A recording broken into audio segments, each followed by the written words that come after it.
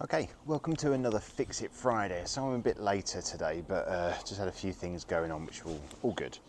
Anyway, um, I know I've talked about this subject before, and I know that you're going to be, oh, Matt, you keep banging on about this, but I want to teach you something today. Uh, just going back to the swing again. Um, the importance of the hands, okay, and the feelings that you need to have in the hands, okay, and what the hands actually need to do. And I just want to give you a couple of drills, and there's a couple of things that uh, you know I've learned through um, Mike Malaska.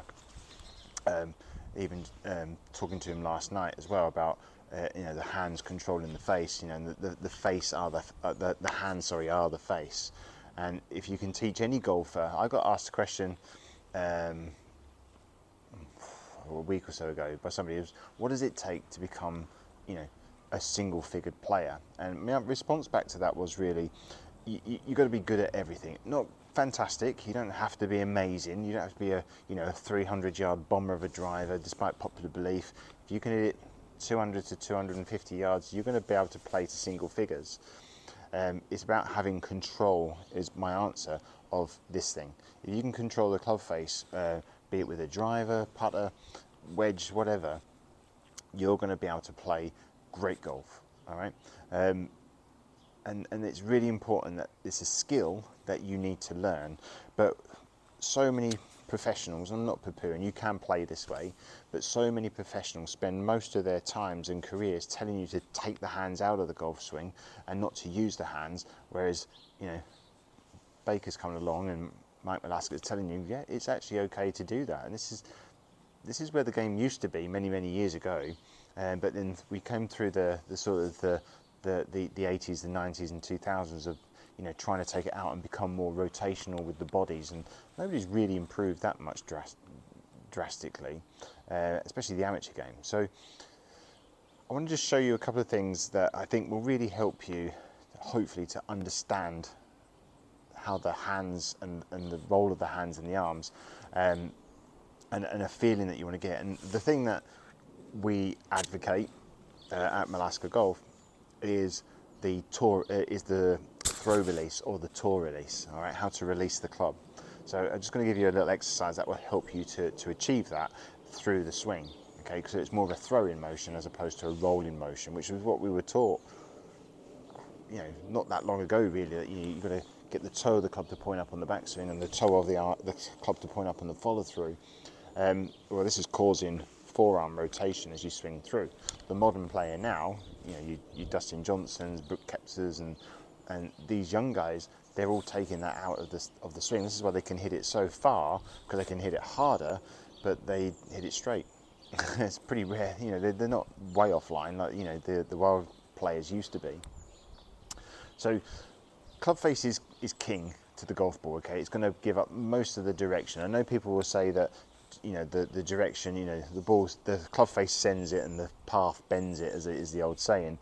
But the club face does have a massive influence on, on the on the direction of the ball. Okay, um, yes, path does give it the spin rates and, and to make it spin off to the to the side, but the club face really has a massive influence on um, the axis of the ball spinning off as well. If you have an open club face, that's going to change the axis and so on. Same as lie angle as well does on the club. So, but being able to control this thing is so, so important.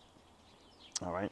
And it's being able to control these things that is key. All right. So I'm giving you permission here to, to go and train this. And if you can't do this, uh, and I'm only going to ask you to do sort of little half swings. I'm not asking you to go full out with your driver straight away, but you need to be able to learn what these hands do. And the best way to learn it, I'll try and get in shot here, is to try and take hold of the club. Okay, I've got a, doesn't matter what club you use here, but I'm gonna, I'm right-handed obviously. I'm gonna put the club into my palm, okay, like so. And the palm of my hand represents the club face. So wherever my palm points is where the club face is going to point. And you can just grip the club like so. It doesn't matter where you put it, to be honest with you. But I'm going to put it in my hand like so. And if I, if I have my palm face to the right of the target, well, the club face is going to aim to the right. So if I want the ball to go to the right, point my hand to the right. If I want it to go to the left, point my hand to the left. If I want it to go straight, point my hand to the target. If I want the ball to go lower, what would I do? I would take loft off. Okay, so it's taken the loft off down to zero and minus there, and I did that by adding more wrist flex. If I want to add loft on, well, I can bend the wrist more here, and suddenly I've added the more loft to the club. All right, so I can control that, and I can control my hand with right hand, uh, right hand bend, left hand. I can go lower, low to the right, low to the left. I can go high, high to the right, high to the left. I can hit straight shot. Okay, it really depends. All right, so it's really learning how you control the club with your palm, and that's really key. All right, and that's my right hand. We also say, what about the left hand? Well, when you do the left hand in your practice, and I'm urging you to practice doing this, but if I put my left hand, I'm going to put it on because my left hand is not going to match the face. My left hand is in a strong position. Okay, my thumb is more on the side of the, the shaft or the hosel, and I'm holding right down here at the base, at the top of the, the neck here. All right, but I can practice the same thing. All right, so it's in my fingers, and I can practice going. I'm going to go left, right, low, high.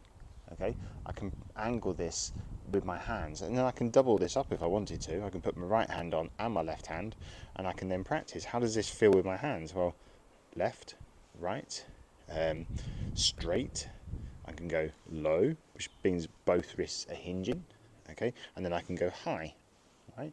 And I can play with this, and I can get a feeling for what my hands should be doing. And when you're doing this, oops, when I'm doing this, you can then practice this with the golf swing. Okay, so you can take hold of the grip as you would do with your good grip, and then you can practice this. You can just get a feel. Okay, I want this one to go to the left. Well, what have I got to do to feel that? Well, remember my my hands represent the club face. So if I want it to go to the left, I'm going to create that feeling. You can see how the club then turns to the left hand side. So I'm going to do here, I can chip it if I want to to start off with. You don't have to go for the full swing. Nothing in the rule book says you can, and do it slowly. So I'm going to try, as I swing down to hit the ball, I'm going to point my hands on my right hand. I do it with my right hand. Some people like doing it with their, their left hand. It's really up to you. Whichever one's fine. They're both fine. You can do whichever one or both. Okay, but I'm going to just go back, left. Okay, now that would have gone left. All right, I could feel my hand roll over as I do that. All right, I can go just again, just a little chip shot. Again, get my grip. I can go to the right. Okay, so how do I feel? I feel like my palm is facing out to the right hand side. So back and to the right. Okay, it's gone over to the right hand side of the net. So you get the picture and you get the idea. The one that everybody wants to try and do is is take off and dynamic loft. Okay, sorry, my watch dug into me then. Well, I'm going to get a feeling of my right, my right, left hand staying more hinged this way, and my right hand's going to stay more back on itself as well. So that's the feeling I'm going to get, and I'm going to keep that angle through the shot. Okay, and that's going to de-loft the club face for me. Okay, and gives me that shaft lean. All right. Let's see if you want to hit a low punch. So back and through. Okay, and that hits that that low shot for me uh, on the ball. It'll hit quite low down here. So what we're trying to educate you here is that you've got to learn to use your hands. Okay, and don't listen to you know advice if it's not working for you. If it works for you then carry on you know that's that's fine. But i can promise you if you can learn to educate your hands through the golf swing and be able to hit it i'm going to hit one straight here. Now i'm going to feel what that's like keep my palm looking at the target so if you can educate what the hands do okay you actually can then train to hit the ball and have total control of it and that's really what you're after and you can actually band this right up to the driver as well. If you can do this with a driver, you have just reached nirvana and you're going to be one of the best players at your club. All right. Um, I know the the talk and the buzz at the moment is going for you know distance, distance, distance. It's all about speed training and so on. But do the long hitters win week in week out? Probably not uh, yeah, they have a good chance. And the whole premise of being long is that you, are going to hit it further down there, so you've got less club in, so you've got more chance of controlling it. But I would still rather be on the fairway. I think the Ryder Cup showed that really, didn't they? You know, it was really key that you had to be on the fairway because if you was off, you were you were you were done. You know, you you were just chipping out. So you, the longer hitters, and this is what really sort of threw it for the, the Americans to a certain degree, because you know the, the, the, the Europeans, if you notice, a lot of them had that, that TaylorMade uh, burner driver, you know, the little the mini driver, uh, because they had they could still get the distance out of it, but they were able to control it better. But they were able to control the face a lot better, and the tour players can, you know, they they have they've already reached that supreme level of being able to control the club face. Um, I was watching a video with Billy Horschel in it. There was a position when he was under the trees, he had to hit it round to the left hand side, and it was all feel. It wasn't down to anything, as no mechanics, he wasn't trying to rotate his body harder or faster or keep it back. It was nothing to do with this. He said, Yeah, I'm just going to feel my hands, just work a little bit better through the ball, and just turn it over a little bit and keep it down nice and low. It was all feel. Why? Because every tour player or any great player that you see, they've got educated hands, and that's really, really important. All right. So that's really what I want you to go and practice. And I know I've done videos on it before, but I can promise you, if you can reach that state of being able to control the club face with your hands, okay, and be able to control the face totally, you'll have more control on the ball than you've ever had in your in your in your life. All right. So it's really really important that you practice that. Um, so yeah, that's, that, that's key. Now, we also then talk about what we call the throw release. Okay, and the, the throw release. If I can get my right hand to work just back and forth this way, okay, and get my left hand to work back like a hitchhiking motion, if I can get my left hand to hitch this way and my right hand to go this way, I'm going to hit the ball straight. Because what I'm taking out is any of this. Okay, so I'm, I'm taking out any of this motion. Okay, so to time that up through impact, a lot of things depend on that then on club, on ball position and stuff like that. To time that up is a lot harder than timing that up. All right, so translate that into a golf swing. If I put that there and I just hinge my wrist back and forth, okay, in this manner, this isn't a flippy motion. It might feel flippy, but it's not because you're going to time in the body as you do this, which will put you in position like so. But if I can do that, which one's better? Which one would you rather have? This motion, where the club face is always constantly pointing to the, on the swing path, or this motion? Okay, well, I know which one I'd rather be playing against. This one because I know I've got more of a chance than the person who plays this way. Okay, so it's really important you understand that. Now, the best way I was shown this, and I'm going to do a video on Instagram on this as well because it's such a good drill, is I call it the mime drill, right? Where you're going to feel like you're a mime in a box. All right, now if you can do this, okay, with your hands, and you can do that with your hands and that with your hands, you can do the throw release all right? Unless there's something physically impossible that you can't do, if you can do that, that, and that, that is how the hands work through the swing. So on my backswing, my right hand palm will face away from me to the side of the box here. I'm in a glass box here. As I swing down and through, my left hand palm will face away from me as well, and I'll be in this side of the, the glass box that I'm in, the mime box. All right, so if I can do that and that, this is going to maintain the club face squarer for longer and I can hit it harder with my hands in order to create more speed. All right. Um, as soon as you start adding in rotation, then you, you, you've, you've, you've had it. But it's a very common thing to do because we were taught to do it and it, it's natural. All right. So it's something that I continuously work on because I had so many years of working from toe up to toe up, getting the forearms to touch almost, getting the club face to roll over and be in this position here. Uh, yes, some people might claim it's a speed producer. Yes, it is, but what, 1% of your total speed? Don't think it really accounts to that much.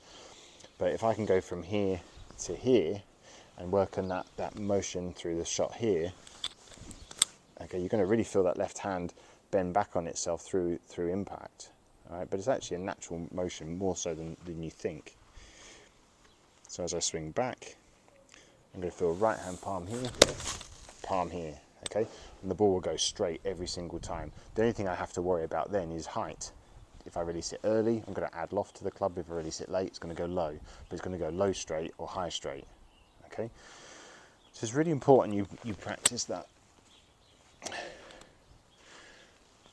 um, and like I say, if you can do, if you can do glass box of emotion, I'm in a glass box of emotion. I'm trying to feel this motion. If I can do that, then I can do the throw release. And if you can do that, I really would suggest that you work on trying to train that in your swing.